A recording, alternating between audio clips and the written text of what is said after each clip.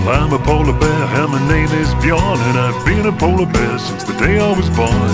Welcome to my kingdom and the world that I roam. The circumpolar Arctic, a place that I call home.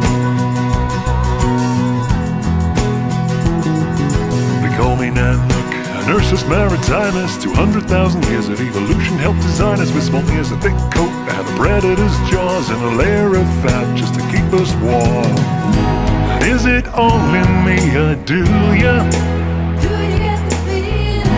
While we're watching the sun going down Someone's turning up the central heating